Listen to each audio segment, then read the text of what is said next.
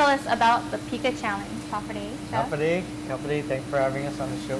Now, I've been hearing about this challenge, so why don't you tell us a little bit about it? Well, here at Meskla, we offer two particular types of challenges. We have the Big Boy Challenge and we have the Pika Challenge. Um, of course, our Pika Challenge is uh, Chamorro cut and pica with a variety of peppers. We, we, we use uh, anywhere from the Donisali, which is a boonie pepper, all the way up to habaneros and ghost peppers, which are really, really hot. And uh, when, when customers normally ask us, well, what, what peppers you use or how much peppers you use, we just say, we use hot peppers. and, you know, it's up to you if you're up for the challenge. Um, it's a hot dish. It's going to burn going in and it might burn going out. I mean, uh, but uh, we also have a second challenge, which is uh, our Big Boy Challenge. And that's a 3.5 pound ribeye steak. I mean, it's like this thick. It's a lot of meat. If you can eat it all, it's yours for free. And likewise with the Pika Challenge.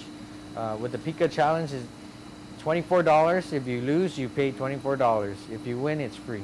The Big Boy Challenge, you eat all the steak, it's free. If not, you pay $100. So, I mean, it, it's uh, it's it's definitely a fun challenge, and uh, we we've had some takers, and it, I was just going to actually winners. ask you that. So about how many have taken the Pika Challenge?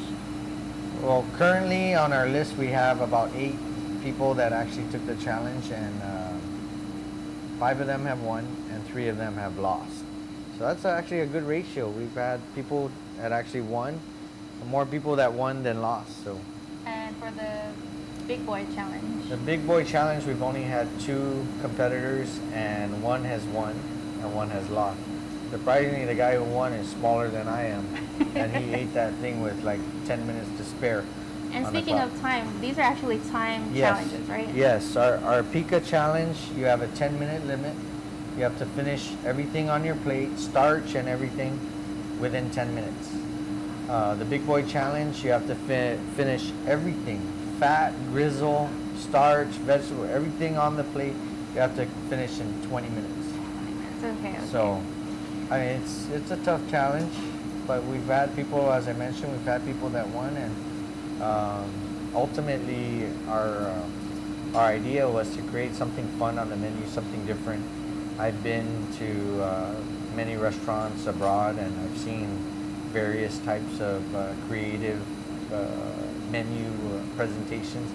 Some with some challenges, some with uh, winning a prize, or you know things like that. But uh, I wanted to create something different. Nobody else on Guam does anything like this, and you know, uh, locals were were all into challenges and. you Bragging know, rights. They're all about especially bragging the, the, rights. the Pika challenge is a big thing because it's, everyone says, oh, I like Doni, I like Pika, you know. and then when they finally eat it, Come and try what Meskla Pika is all about because this is fiery hot.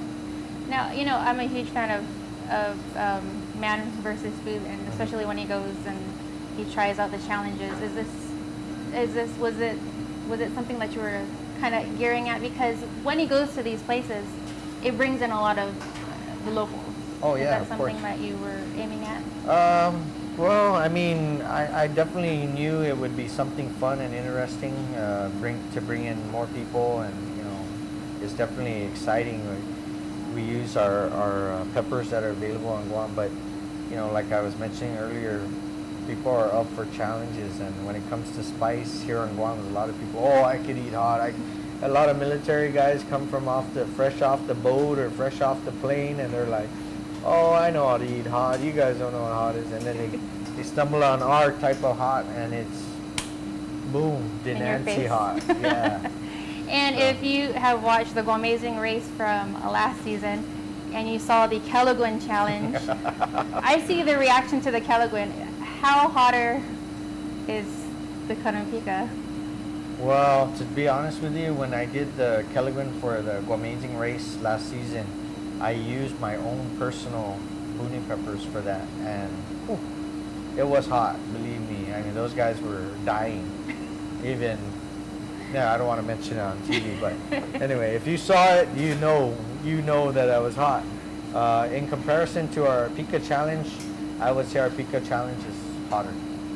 Wow. definitely hotter. Okay. Well, do you have any other final comments for our viewers and especially those that are, are contemplating taking either of the challenges? Well, if you're up for a challenge, come down to Meskla. We're the only one like its kind, and you want to try uh, either one of the challenges or both. We're here. We're ready for you. Those are fighting words. well, thank you so much, Chef Peter, and make sure you stop on by to Meskla and ask yourself, are you ready for the challenge?